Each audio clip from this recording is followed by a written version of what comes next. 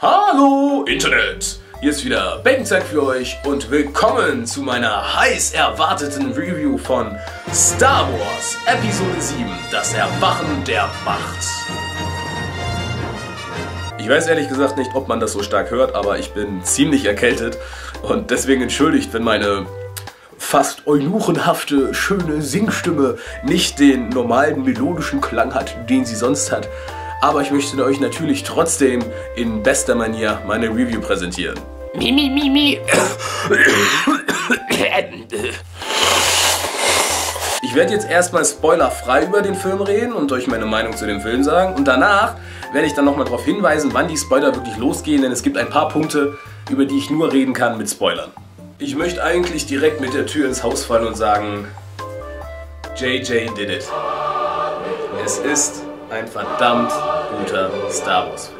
Es war ein wirklich, wirklich heikles Thema. Es hätte so viel schief gehen können, aber es ist trotzdem ein guter Star Wars Film geworden. Auch wenn er nicht perfekt ist. Aber er ist trotzdem ein sehr guter Star Wars Film. Auf jeden Fall ist er besser als so ziemlich alles, was in der neuen Trilogie passiert ist. Episode 7 hat das Feeling der alten Teile. Gott sei Dank hat er das Feeling der alten Teile. Es gibt keine verfickten Mediklorianer. Es gibt sie einfach nicht.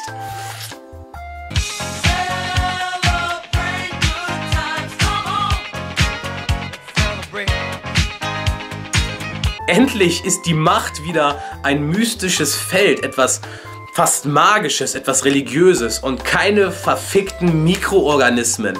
Es ist so gut, dass die Macht in dem Film wieder den alten Stellenwert zurückbekommen hat, den es in der alten Trilogie hatte und welcher durch die neue Trilogie komplett zerstört wurde.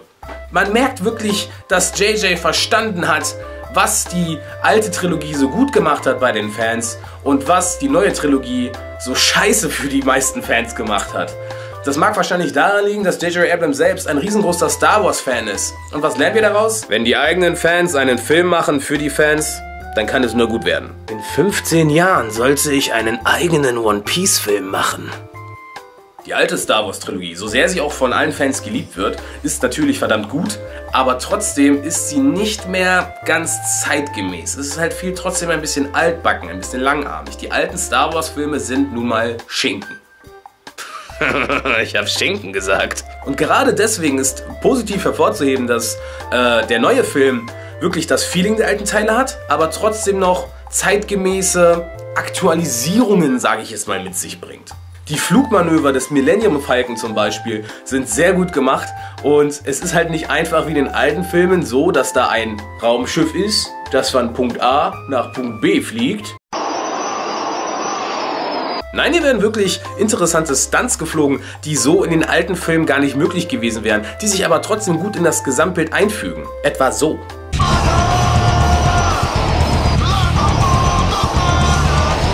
Was mir in Episode 7 auch sehr gut gefallen hat, sind die Lichtschwertkämpfe. Diese sind nämlich nicht mehr durch choreografierte Tänze mit Stöcken, wo sich die Leute irgendwie fünfmal über ihre eigene Achse drehen wie ein Beyblade und dann ihr Laserschwert in unfassbaren Bahnen um sich schwingen und weiß ich nicht was. Nein, hier sind die Lichtschwertkämpfe wirklich so in Szene gesetzt, wie ein echter Schwertkampf auch wäre.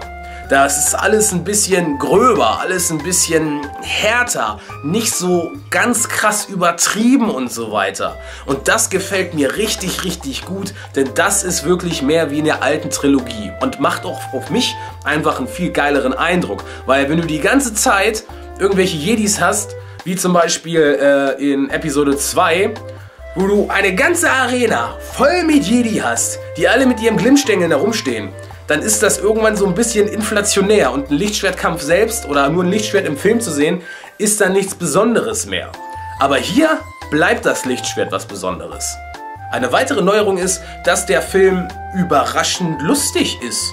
Das hätte man so gar nicht erwartet. Es gab zwar auch äh, in den äh, vorigen Star Wars Teilen hier und da mal einen kleinen Witz, aber es war nicht so, dass man alle 10, 15 Minuten mal wirklich gelacht hat. Bei Episode 7 war das wirklich anders. Es gibt hier und da immer mal wieder ein paar One-Liner, nette Gags und so. Ähm, ich glaube, da merkt man einfach ganz stark den Einfluss von Disney und den Marvel-Filmen jetzt, wo es ja ein ähnliches Konzept gibt, wo einfach nur trockene One-Liner rausgehauen werden, die dann lustig sind. Und äh, man könnte jetzt die Angst haben, dass das ganze Geschehen weniger episch ist oder mh, mm, ein bisschen den Ernst verliert und schon fast lächerlich wirkt. Aber das ist hier nicht der Fall. Meiner Meinung nach haben sich die Gags wirklich sehr gut in das Gesamtbild eingefügt und das ist wirklich eine sehr gute Neuerung. Eine weitere Neuerung und wie vorher schon abzusehen war bzw. bekannt war, ist natürlich, dass der alte Star Wars Cast durch einen neuen Cast ausgewechselt wird, Stück für Stück in dem Film. Und ähm, da hätte wirklich eine Menge schief gehen können. Die hätten das wirklich so richtig in die Banter-Scheiße reiten können, ja. Aber es ist wirklich gut zu sehen oder beruhigend, dass sie das nicht gemacht haben. Sie haben es hinbekommen. Alle neuen Charaktere sind gut, sind liebenswert. Da ist keiner dabei, der irgendwie aus der Rolle fällt. Sowohl Ray als auch Finn, als auch Kylo, als auch Poe, alle sind gut. Wobei man sagen muss, dass Poe ein bisschen wenig Screentime im Vergleich zu den anderen dreien hatte. Aber das wird sich ja vielleicht in den kommenden Filmen noch ändern, ich weiß es nicht. Aber auf jeden Fall ist eine Sache sehr beruhigend. Es gibt keinen verfickten Jar Jar Binks Spaßtüten-Charakter. Gott sei Dank! Ja! Was mir bei den Charakteren selbst auch sehr positiv aufgefallen ist, ist, dass die Charaktere einfach sehr viel erdgebundener sind, sage ich mal. Wenn man sich mal überlegt, was in Episode 4 passiert ist, dann sollte einem auffallen, dass Luke sein gesamtes Leben mit seiner Tante und mit seinem Onkel verbringt. Und die werden vom Imperium abgeschlachtet, überraschenderweise für ihn. Und dann zieht er mit einem alten Mann los, der ihm irgendwas von einer mystischen Macht erzählt und hinterfragt nie wieder oder thematisiert auch nie wieder in den Star Wars-Filmen den Tod seiner Tante und seinem Onkel, die ihn großgezogen haben. Wisst ihr, das sind schon so Sachen, wo man objektiv sein muss und sagen muss, Star Wars, das wäre besser gegangen, auch wenn du die originale Trilogie bist. Und genau das macht Episode 7 nämlich besser. Denn Episode 7 zeigt die Charaktere wirklich, wie sie am Zweifeln sind, wie sie am Überlegen sind, wie sie reflektieren, was sie tun und was um sie herum passiert. Das ist in der alten Trilogie eigentlich nicht so der Fall gewesen. Man merkt wirklich, dass Finn innerlich zerrissen ist, genauso wie Kylo. Und das ist echt gut. Besonders Kylo Ren ist der etwas andere Star Wars Bösewicht. So einen äh, Villain gab es in dem Star Wars Franchise bisher überhaupt noch gar nicht. Und ähm, das gefällt mir sehr, sehr gut, weil er ist wirklich anders als die anderen. Und er zeigt eine Seite der dunklen Seite, ähm, die es so vorher noch nicht im Kino zu sehen gab. Und das ist wirklich sehr interessant. Bevor ich zu meiner richtigen Wertung komme, muss ich sagen, ich habe jetzt schon, ähm, obwohl ich versucht habe, vom Internet Fan zu bleiben, schon viele Reaktionen gelesen von Leuten, die gesagt haben, was für eine Scheiße, schlechtester Film ever, ich wurde schon wieder betrogen, das war so ein Scheiß, ich gehe da hin und kack den auf den Tisch. Und da muss ich mal ganz ehrlich sagen, Leute, was habt ihr denn erwartet? Was habt ihr erwartet? Es ist natürlich überall ein extrem großer Hype zu dem Film generiert worden. Aber trotzdem, Leute, ist das nur ein Film. Es ist ein Film. Natürlich bin ich ein Typ, der sich auch tierisch über solche Sachen aufregt oder darauf abgeht. Aber schlussendlich ist es nur ein Film. Was erwartet ihr denn von diesem Film? Was soll der Film denn mit euch machen? Soll er eure gesamte Welt auf den Kopf stellen? Euer Fundament, auf dem eure Realität aufbaut oder was? Hat der Film nicht gemacht. Und jetzt seid ihr angepisst, weil ihr während des Guckens nicht multiple Orgasmen hattet und auf einmal als reiches Supermodel aus dem Film rausgekommen seid, oder was? Leute, lasst die Cantina mal auf Tatooine, ja? Ich meine, ähm, wenn der Film so eine extrem absurd hohe Erwartungshaltung hat, dann kann er einen selbst natürlich nur irgendwie irgendwo enttäuschen. Betrachtet den Film nochmal nüchtern, dann werdet ihr auch sehen, dass es ein guter Star Wars Film ist und eben nicht die Antwort auf all eure Probleme in eurem Leben.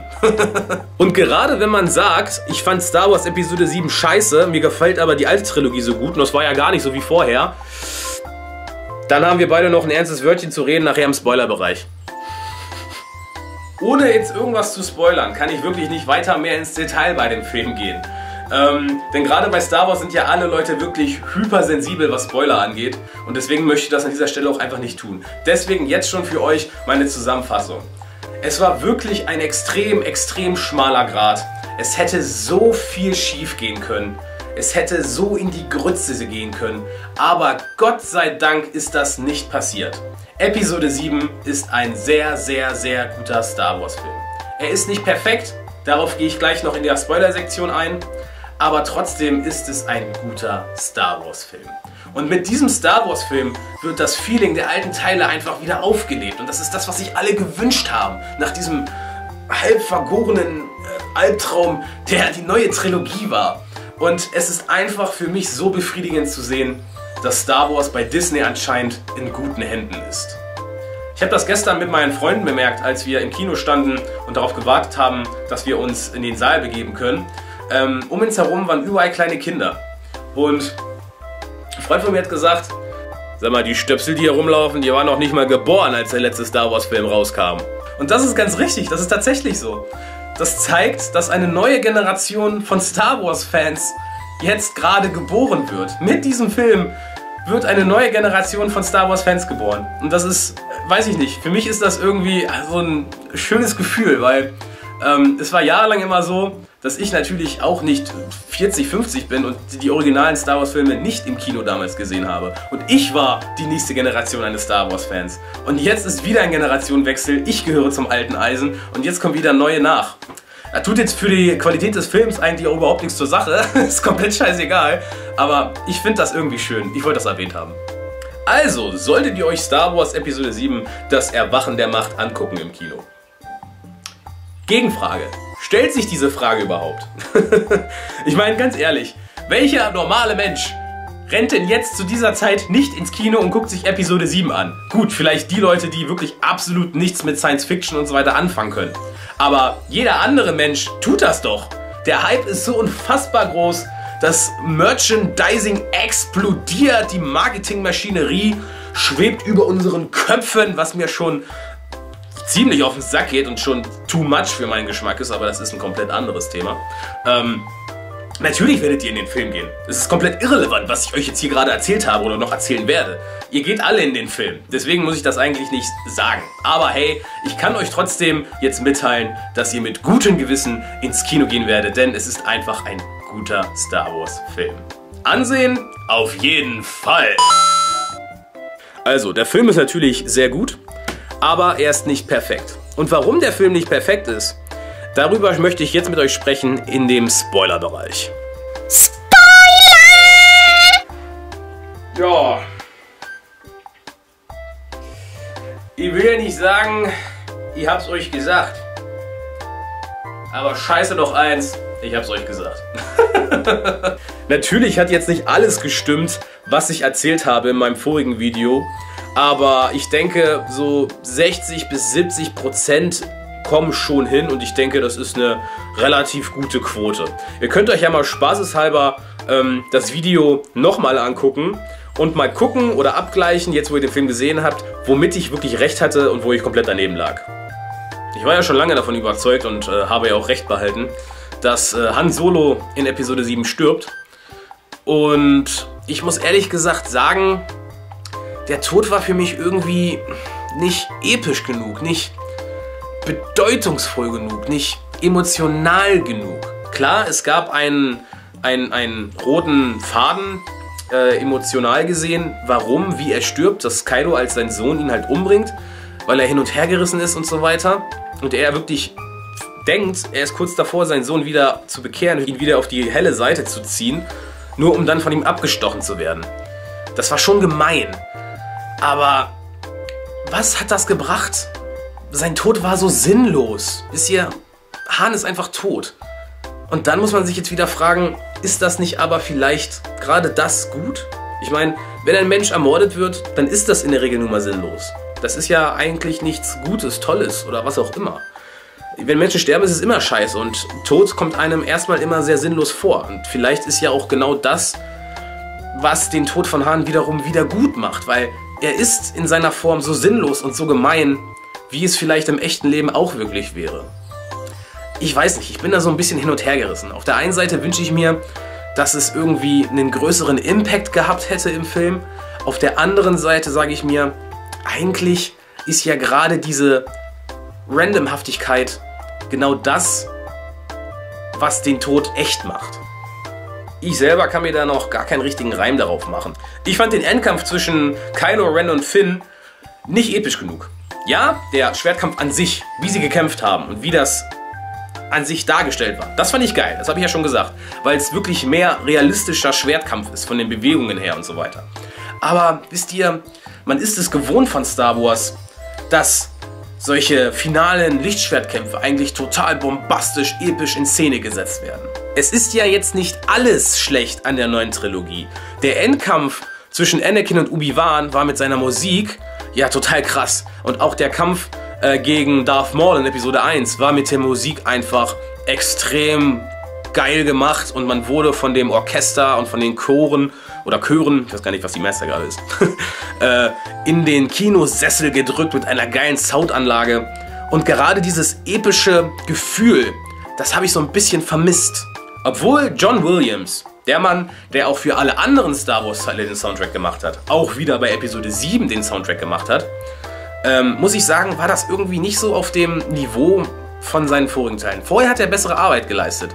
Ich finde einfach, er hat sich zu sehr äh, an der alten Musik der Teile bedient. Das ist ja nichts Schlechtes. Oh mein Gott, auf jeden Fall muss alte Musik von den alten Teilen da drin sein. Auf jeden Fall. Aber ich weiß nicht. Ich hätte es geiler gefunden, wenn er ein bisschen mehr was Eigenes gemacht hätte. Denn das ist ein Generationswechsel und bei diesem Generationswechsel kann hier und da auch ein anderer Ton angeschlagen werden. Hahaha, meine Wortwitze sind der Hammer! Ich hätte mir bei dem Endkampf einfach ein bisschen mehr hiervon gewünscht.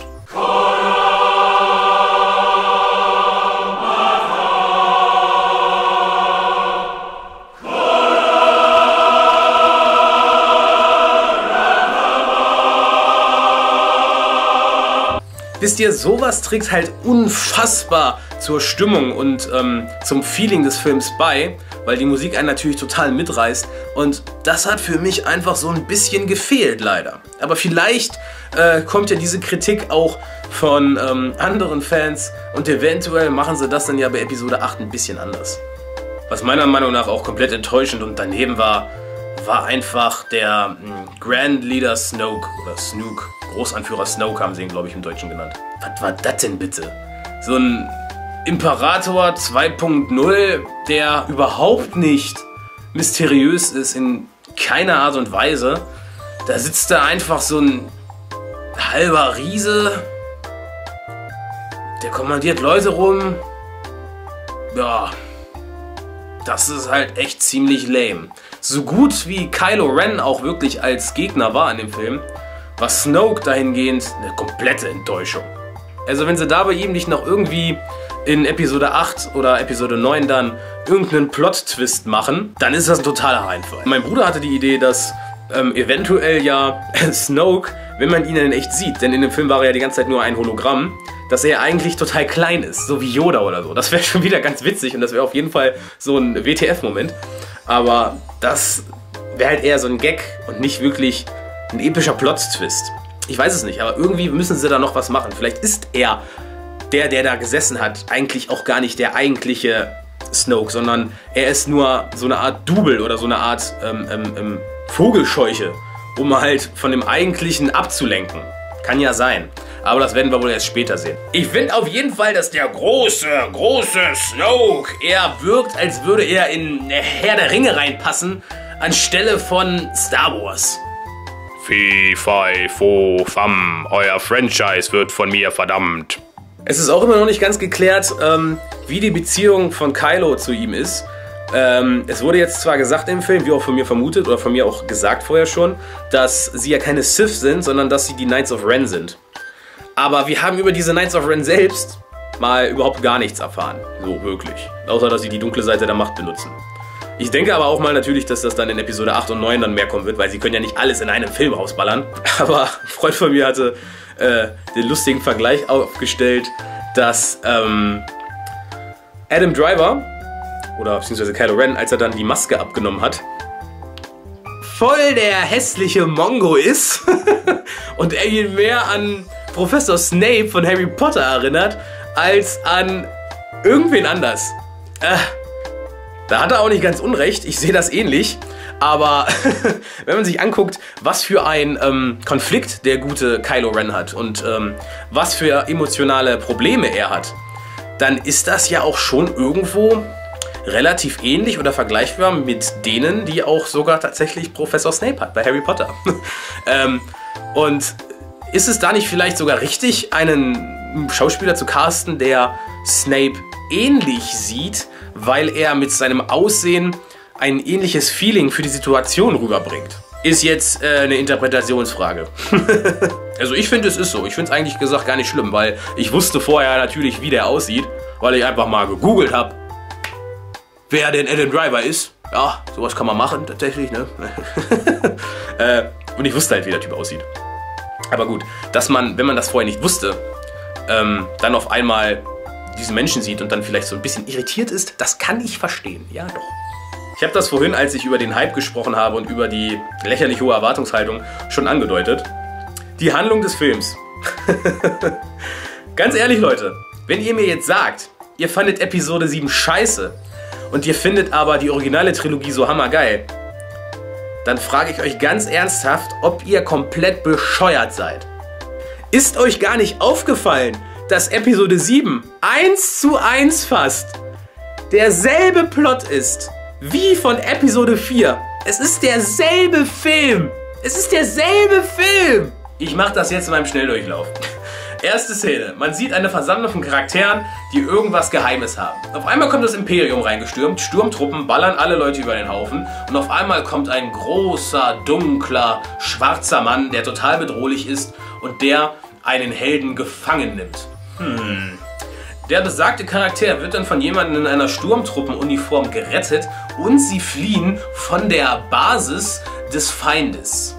Auf einem Wüstenplaneten haben wir einen Charakter, der angeödet von seinem Leben ist und sehr isoliert irgendwo lebt. Nachdem dieser Charakter einen Astromech-Droiden gefunden hat, der eine geheime Botschaft hat, macht sie sich auf eine Reise, um diese Botschaft auszuliefern. Auf dieser Reise trifft sie einen alten Veteranen aus vergangenen Tagen, der total berühmt ist und der ein Kriegsheld war. Dieser ist dann den gesamten Film über eine Art Bezugsperson für die neue Generation und leitet sie durch den Film. Gegen Ende des Films stirbt dann diese coole alte Bezugsperson vor den Augen der neuen Generation, hinterlässt Trauer und die große Basis des Feindes, der ähm, nicht Todesstern, wird dann von den X-Wing-Fightern zerstört. Leute, es ist ein und derselbe Film. Wenn ihr jetzt sagt, dieser Film war scheiße, dann stelle ich ernsthaft in Frage, was ihr dann an den alten Star Wars-Filmen gut findet. Wenn es ist dasselbe. Es ist dasselbe. Und deswegen ist es auch gut. In dem Drang, das Feeling der alten Teile wiederherzustellen, hat man sich so darauf versteift, dass man einfach die Story von Episode 4 recycelt hat und ein bisschen anders aufgezählt hat. Aber im Prinzip hat man wirklich eins zu eins dieselbe Story erzählt. Ist jetzt natürlich die Frage, ob man sagt, das finde ich gut oder das finde ich scheiße. Da gibt es dann nämlich zwei Extreme. Entweder man sagt, äh, der Film, der war ja genau dasselbe, da war ja absolut nichts Neues, ist ja voll scheiße. Oder man sagt, der Film, der war komplett anders als die vorigen Teile, das ist ja gar nicht mehr das, was ich kannte, das ist ja auch total scheiße. Man kann es nie allen Leuten recht machen. Anderes Beispiel. Ein neues The Legend of Zelda kommt raus. Was mache ich in diesem Spiel? Ich bin Link, ein Junge gekleidet in dem Grün der Wiesen, ich kämpfe mich durch verschiedene Tempel, wahrscheinlich durch einen Waldtempel, durch einen Feuertempel, durch einen Wassertempel und dann noch ein paar andere und am Ende kämpfe ich gegen den Großmeister des bösen Ganondorf und rette die Prinzessin. Das passiert in den Großteil dieser Zelda-Spiele. Das ist auch das, was ich immer wieder haben möchte, nur halt anders. Ist das jetzt also wirklich schlecht, dass sie bei Episode 7 einfach die Story von Episode 4 recycelt haben? Meiner Meinung nach nicht. Solange sie es jetzt nicht bei Episode 8 und 9 wieder genauso machen, ist das vollkommen in Ordnung. Alles in allem kann ich einfach nur sagen, ich bin wirklich sehr optimistisch für die kommenden Star Wars Filme. Nächstes Jahr kommt dann erstmal Star Wars Rogue One, das ist ja dieser Zwischenteil, der zwischen Episode 4 und Episode 5 spielt, wo es darum geht, die Pläne des Todessterns ähm, zu erbeuten. Und laut Disney soll das wirklich eine andere Art von Star Wars Film werden. Sie möchten angeblich einen Film machen wie Oceans 11, nur halt im Star Wars Universum. Und ich persönlich finde, das klingt ziemlich geil. Ich bin auf jeden Fall sehr optimistisch für die kommenden Filme, für Episode 8 und 9 und äh, den Han Solo-Film und so weiter und so fort. Das kann eigentlich nur gut werden. Ich denke, das Franchise ist bei Disney in guten Händen. Und ich persönlich bin beruhigt. Zum Abschluss bleibt mir jetzt wieder nur zu sagen, vielen Dank fürs Zusehen und natürlich mich interessiert eure Meinung. Was haltet ihr von dem Film? Wart ihr enttäuscht? Hat der Film eure Erwartungen erfüllt? Wart ihr angepisst, dass ich euch vorher gespoilert habe, obwohl ich euch gewarnt habe? Was haltet ihr von dem Film? Schreibt es mir doch in die Kommentare. Ich freue mich sehr darauf, mit euch darüber zu diskutieren. Und bis zum nächsten Mal sage ich, möge die Macht mit euch sein. Spoiler für Episode 8! Jar Jar Binks ist tatsächlich ein böser Sith Lord und der Anführer der First Order und die wahre Identität von großen Anführer Snoke. Das war natürlich nur ein Scherz. Keine Sorge. Nein, das war ein Witz. Keine Panik. Ähm, ich würde mich natürlich sehr darüber freuen, dass, wenn euch mein Video gefallen hat, ihr mich dann auch abonnieren würdet. Oder ihr vielleicht sogar mein Video teilen würdet und es weiterschicken würdet. Denn das hilft mir bei meinem Rise to Internet Domination. Außerdem habe ich ja auch noch viele andere interessante Videos, die ihr eventuell euch auch nochmal angucken könntet. Zum Beispiel meine Review von Die Tribute von Panem Mockingjay Part 2 oder auch, wenn ihr euch den Spaß machen möchtet, dann guckt euch doch einfach nochmal mein ähm, Theorievideo zu Episode 7 an und gleicht mal ab, womit ich recht hatte und wo ich totalen Bullshit erzählt habe. Ich würde mich auf jeden Fall sehr freuen, wenn wir uns beim nächsten Video wiedersehen und bis dahin sage ich, hauen Sie, bauen Sie!